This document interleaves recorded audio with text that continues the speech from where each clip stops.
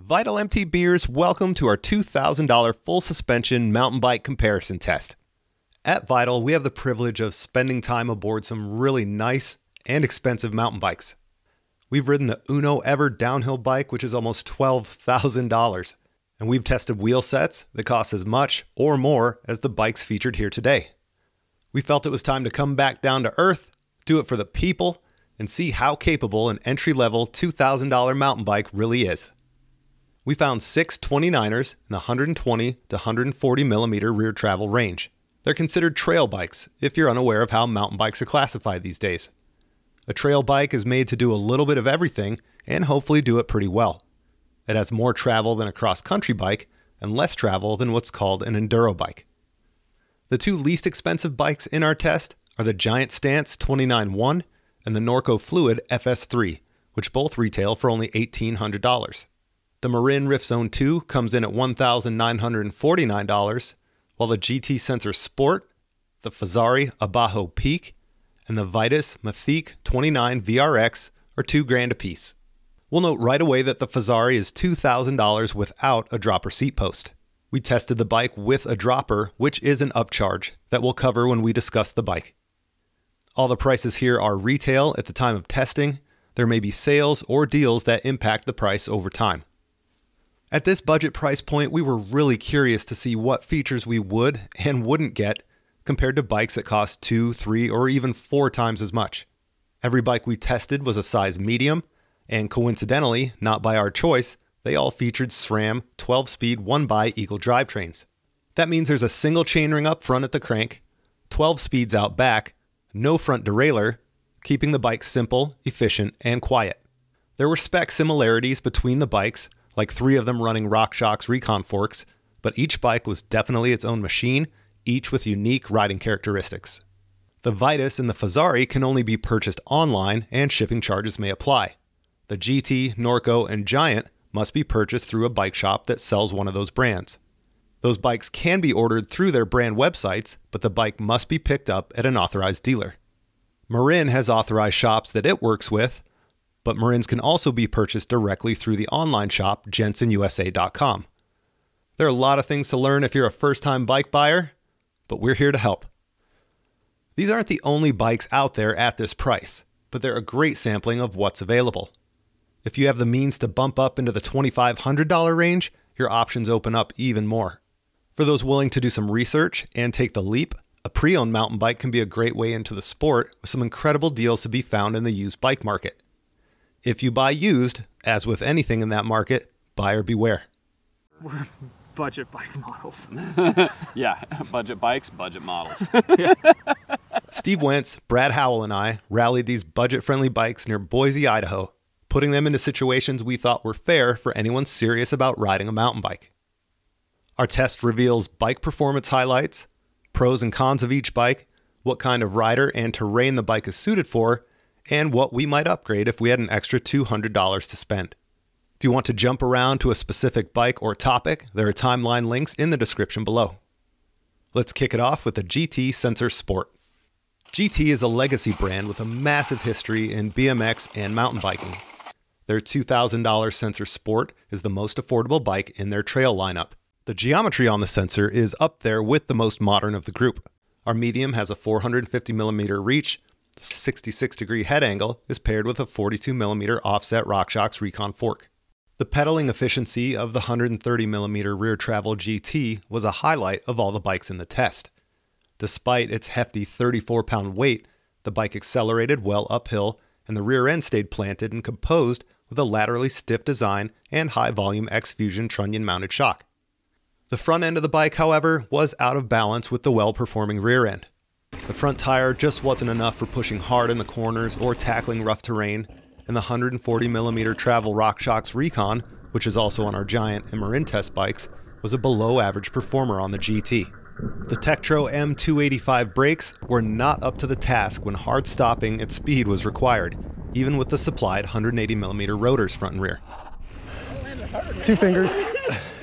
to bring back some positivity, the sensor does have a geometry adjusting flip chip. We stayed in the low setting through the test, but the option is nice for those who want to tinker. Obviously, our $200 upgrade on the GT would be a dropper seat post. At $2,000, the Sensor Sport has a standard post, and what we found was that that post was too short for one of our testers as he hit the minimum insertion line. Catch up with us on the climb, bro. I can't get on it. Adding a dropper will mean more aggressive riding, which will push the front end even more. Considering the seat post upgrade, a front tire upgrade that we'd like to do, adding a 200 millimeter rotor up front for some braking power, you're more than halfway to GT's sensor comp at 2750, which has a better fork, better brakes, better tires, and a dropper post. If you're a die-hard GT fan, we'd recommend saving up until you can get the sensor comp.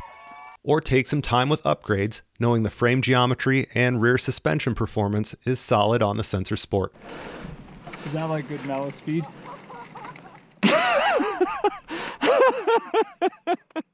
Fezzari is an established direct to consumer bike brand based in Utah. They've been shipping bikes directly through their website for years, and despite their history, they can get lost in the shuffle against the likes of YT, Canyon, or Commencal. Having had a good experience aboard their La Sal Peak a year ago, we were excited to see what their wallet friendly Abajo Peak had to offer. Fezzari comes out swinging for only $2,000.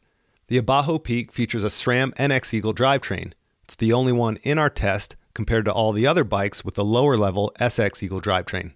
There's a 2.5 inch Maxxis Minion DHF wide trail front tire, 2.4 Minion DHR rear tire, both with EXO casing.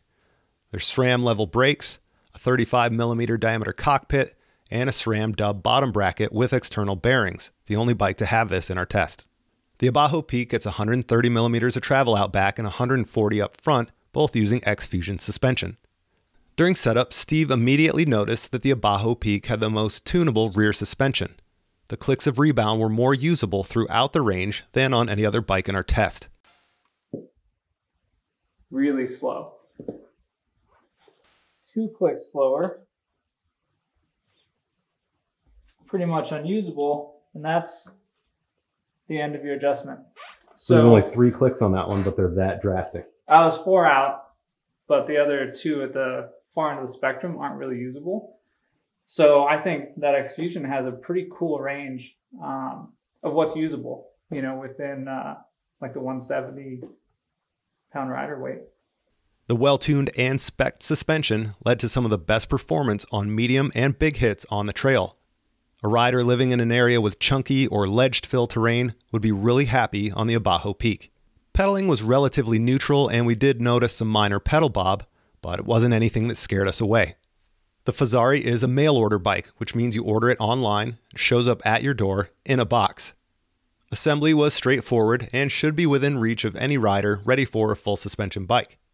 Fezzari offers a 30 day love it or return it guarantee, a 23 point bike fit and setup guide, as well as live chat, phone, or email contact after you purchase the bike to provide some peace of mind since you won't be dealing directly with a bike shop.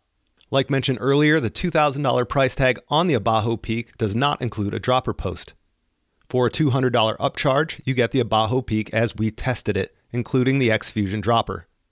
At 2,200 with the dropper, we would highly recommend the Abajo Peak as a bike that has components ready to perform and last under harder riding conditions. If you're a rider that can work on your own bike and knows when to take care of the little things, the Fezzari is a great bang for the buck.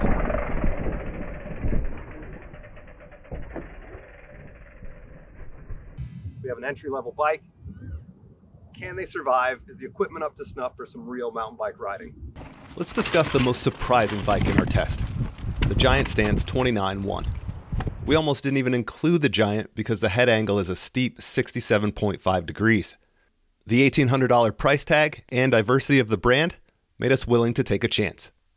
The RockShox Recon and Monarch Shock, along with the SX Eagle drivetrain, are par for the course at this price point. Shimano MT201 brakes adorn the stance, as well as the Marin in our test, and a giant contact dropper post brings the bike into the modern world. The Maxxis Forecaster tires with EXO casing have proven themselves already in the Boise area and complemented our testing grounds with fast rolling speeds and predictable cornering to a point. Setup was rather simple due to the limited suspension adjustment. On the flip side, that simple process means dialing in a bike for maximum performance can be, well, limiting, as we showed with shock rebound adjustment ranges. Betting in the Giants' brakes took some effort, and despite not being as weak as the Tektros in our test, they still felt underpowered. On the trail, the stance feels like the definition of a mountain bike. The stance was surprisingly well balanced, easy to pump, jump, and maneuver.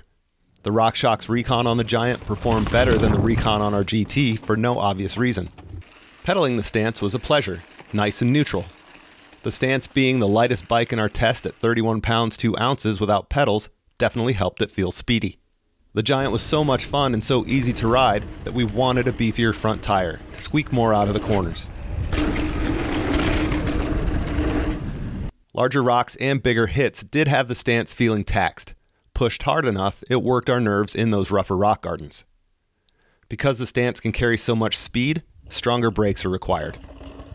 Big mountain riders probably won't even have this bike on their radar, but the aspiring NICA athlete would have a ball racing and ripping this trail rated 29er.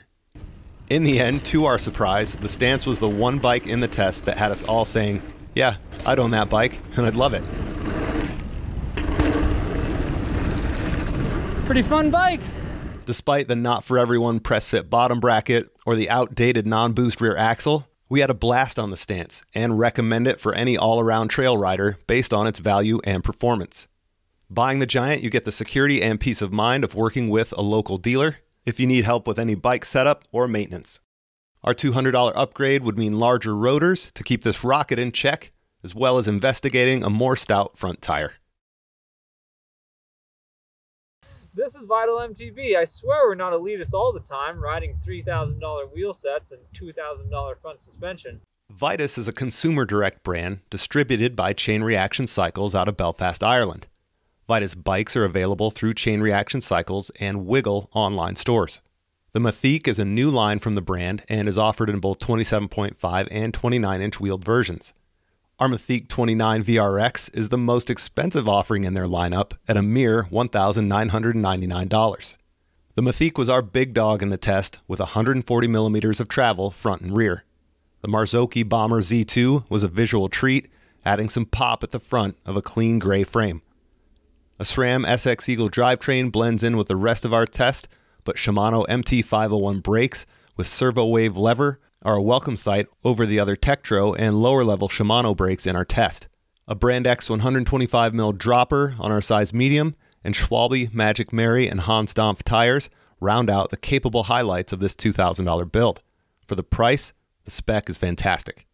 We know this is a budget bike for a wide range of riders, but given the capable nature of this build, a few more clicks of usable rebound on the Monarch would have helped suspension tuning.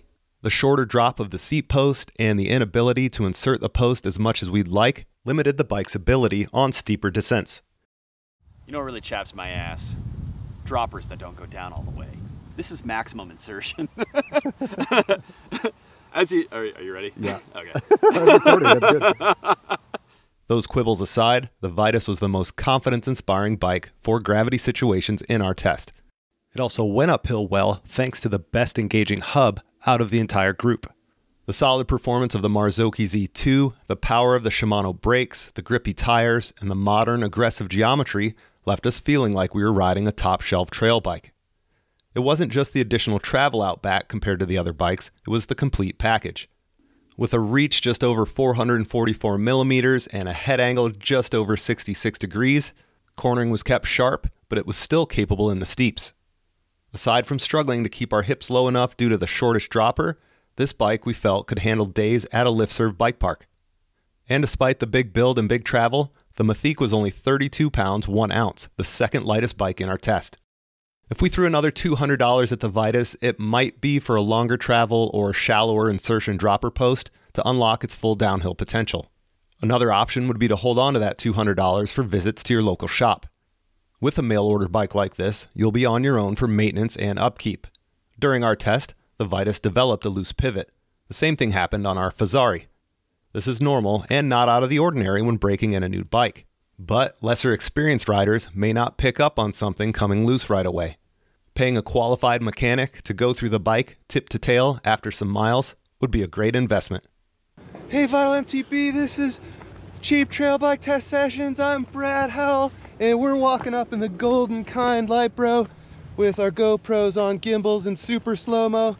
Is it just us, or has Norco been on a tear lately with their bikes? We loved the Norco Fluid FS 129er last year, and since then we've been loving their new optic and sight. When the Fluid FS3 arrived, we had high expectations for the affordable Canadian steed. The Fluid is a 120mm travel frame that uses an X Fusion O2R shock, mated to a 130mm travel SR Suntour XCR 34 air fork. The dependable SRAM SX Eagle drivetrain is present, and TransX supplies the 130mm dropper seat post for the Norco. Tektro HD M275 brakes are in charge of slowing down the fluid's massive 29 by 2.6 inch Goodyear Escape tires. For just $1,799, the fluid has some solid parts with a great looking frame.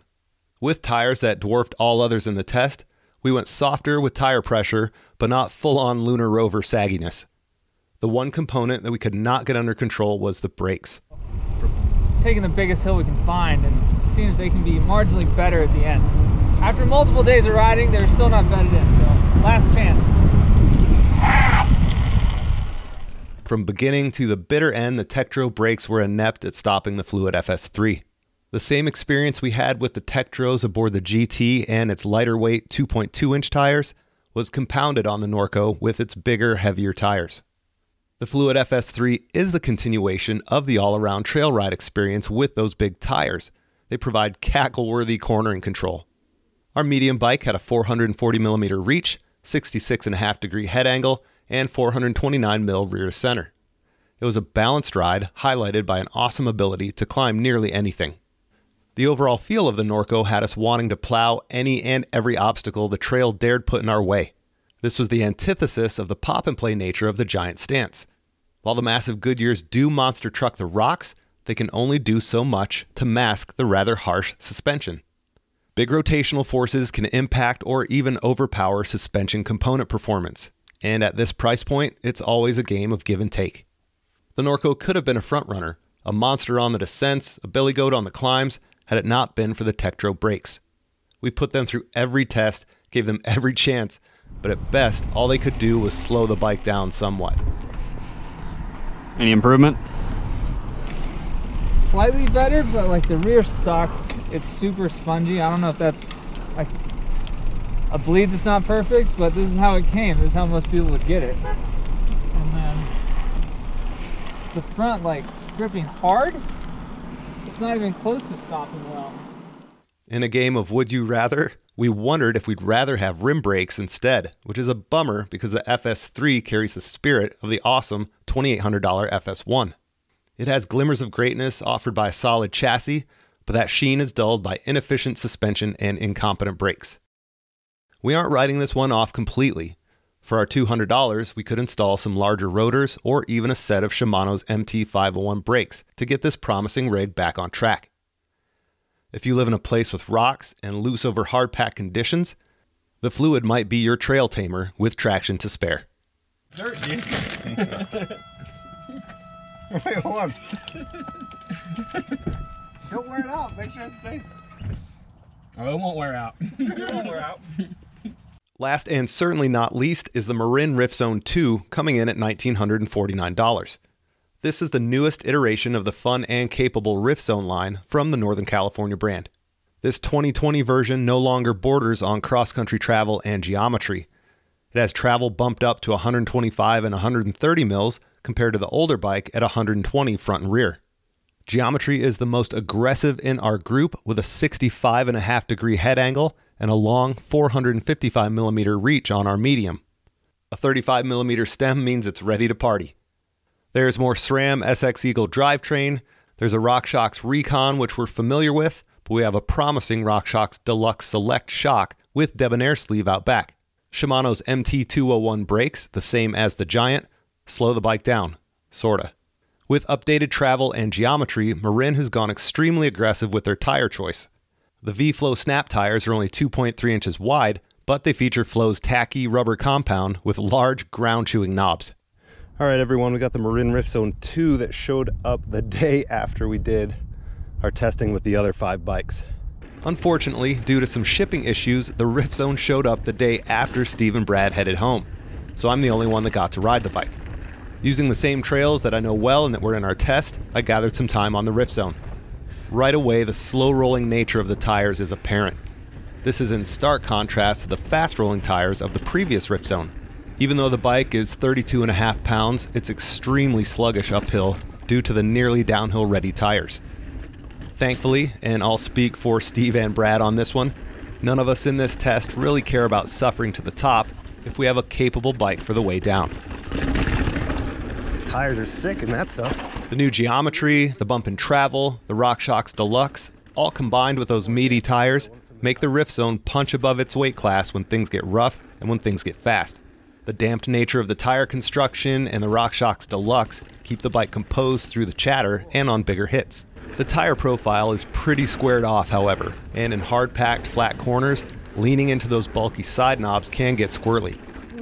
In sandy or loaming conditions, they'll hold, but they're definitely not an all conditions tire.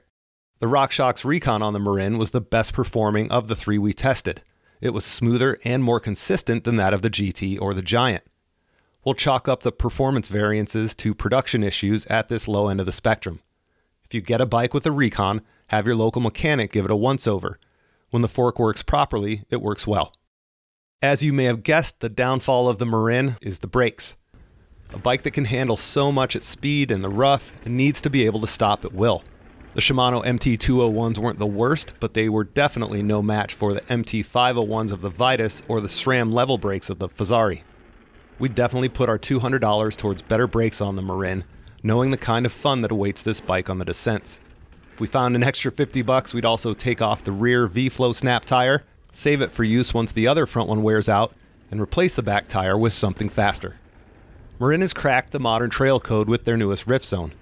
Upgrade the brakes, get ready to earn your way up, and prepare for some class leading descending on the way down.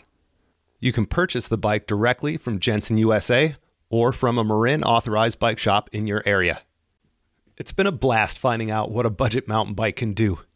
We're surprised by the level of performance available for $2,000 or less, and we hope you found the test informative. Hit us up with your comments, your questions, and let us know what bikes we should round up for our next shootout.